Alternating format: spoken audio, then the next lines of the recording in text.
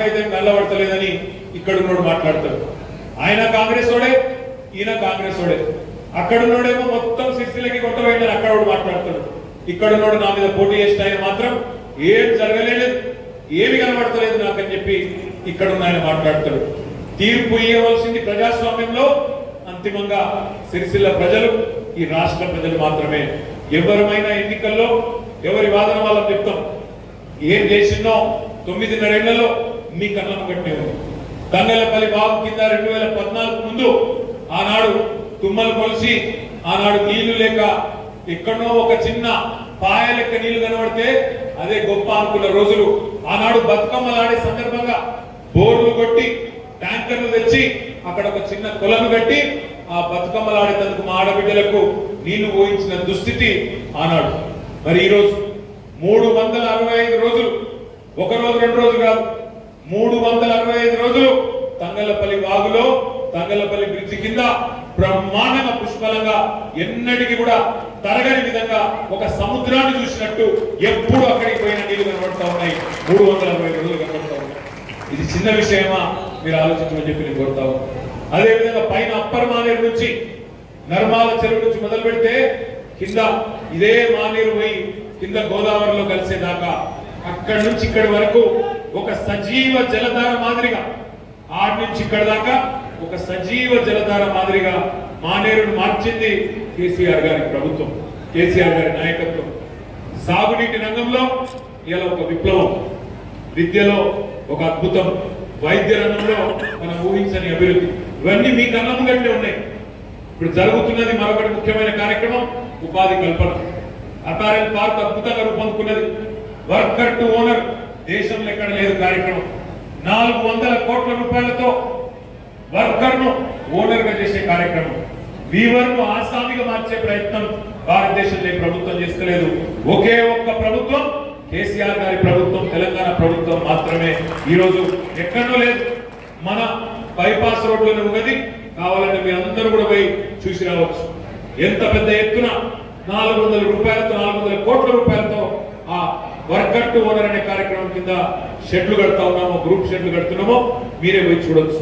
అంటే చెరువు ఈ మానేరు చెరువు ఎక్కడైతే మనం రాజరాజేశ్వర సాగర్ కట్టుకున్నామో ఆ మిడ్ మానేరును పట్టుకొని తక్కువ హబ్బు పెట్టుకుంటా ఉన్నాం. భారతదేశంలోనే అతి పెద్దదైన మూడు వందల డెబ్బై ఎకరాల్లో అతి పెద్దదైన అక్వా హబ్ నిర్మాణం కూడా ప్రారంభమైంది. అందులో వచ్చే కొలువులు అందులో వచ్చే ఉద్యోగాలు మన పిల్లలకు మన ప్రాంతంలోని మత్స్యకారులకే వాటి వల్ల కూడా లాభం పెరుగుతుంది నర్మాలలో నర్మాలలో ఫుడ్ ప్రాసెసింగ్ పార్క్ వస్తున్నది. అదేవిధంగా ఇతర ప్రాంతాల్లో కూడా ఇండస్ట్రీని తెచ్చే ప్రయత్నం చేస్తాం ఏ రంగం అన్న తీసుకోండి మీరు సిరిసిల్లలో.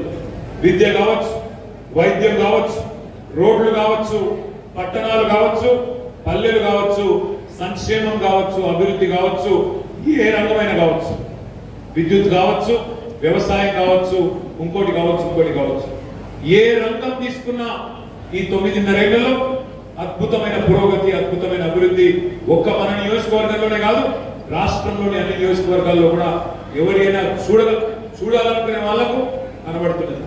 కేవలం కనబడడం వాళ్ళు ఎవరంటే కళ్ళుండి చూడలేని వాళ్ళు.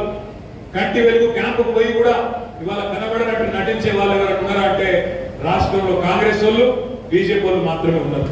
వాళ్ళ కనబడతలేదంటే ఏది సిరిసిల్లను వాళ్ళు ఏదో బాగా చేసిపోయిందట నేను మొత్తం ఖరాబ్ ఖరాబ్ చేసినట్టు ఈ తొమ్మిది నెలలలో మరి నేను మంచిగా చేసినా ఖరాబ్ చేసినా తీర్పు చెప్పవలసిన బాధ్యత మా సిరిసిల్ల అన్నదమ్ములది సిరిసిల్ల ఆడబిడ్డలదని చెప్పి నేను విజ్ఞప్తి చేస్తా ఉన్నాను మిమ్మల్ని అందరినీ నేను ఒకటే కొడతా ఉన్నాను నాలుగున్నర ఏళ్ళు నేను ఇప్పుడు ఎమ్మెల్యే పద్నాలుగున్నర ఏళ్ళు.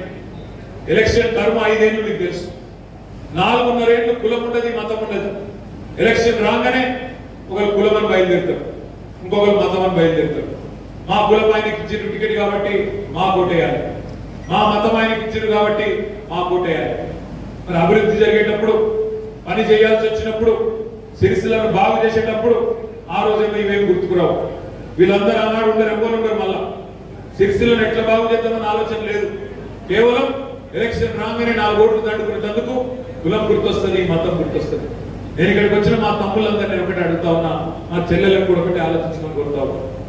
ఎవరైనా పైనుంచి వచ్చేటప్పుడు తల్లి కడుపులో పడేటప్పుడు నాది ఫలానా కులం ఉండాలని అనుకో పుడతారా పుడతాం అందరం ఏదో ఒక కులంలో పుడతాం ఈ సమాజంలో అలా ఒక దగ్గర పుడతాం కానీ ఏ కులంలో పుట్టినమన్న దానికంటే పోటీ చేస్తున్న అభ్యర్థుల్లో ఎవరి గుణం మనకు రేపటి పనికొస్తుంది?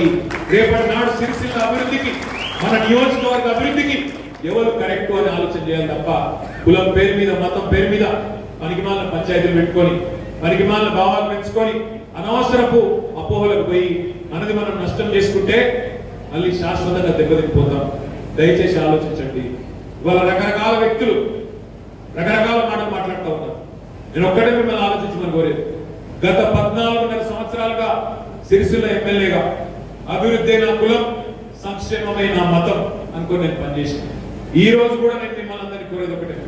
నేను పనికి వస్తా నేను పని చేయగలుగుతా మీకు వల్ల మీకు నా వల్ల మేలు జరుగుతుంది ఈ ప్రాంతానికి నియోజకవర్గానికి అంటే తప్పకుండా నా ఓటే కాదు నీకంటే మెరుగైన అభ్యర్థి వచ్చిండు నీకంటే గొప్పవాడు ఉన్నాడు నీకంటే ఎక్కువ చేయగలుగుతాడు అనుకుంటే తప్పకుండా మీ నిర్ణయం మీరు తీసుకోండి. కానీ ఒకటి మాత్రం దయచేసి నేను మిమ్మల్ని పదే పదే కొడుతాను పద్నాలుగున్నర మీకు కట్టిన మొదటిసారి గెలిచినప్పుడు నేను మీకు చెప్పిన తెలంగాణ సాధన కోసమే నష్టపడతా మీరు ఇచ్చే ప్రతి ఓటు తెలంగాణ సాధన కోసమే కష్టపడి పనిచేసి మీ పేరు నిలబెడతా అని చెప్పిన రెండు వేల తొమ్మిదిలో మీరు గెలిపించింది గెలిపించిన తర్వాత మొదటి ఐదు సంవత్సరాలు తెలంగాణ సాధన కోసం జైలుకు పోయినాం. దెబ్బలు తిన్నాం కేసులు పెట్టించుకున్నాం. ఎన్ని రాస్తా రోకోలు ఎన్ని ధర్నాలు ఎన్నెన్ని కార్యక్రమాలు మీరు కూడా చాలా మంది పాల్గొన్నారు. నాకంటే బాగా మీకే తెలుసు.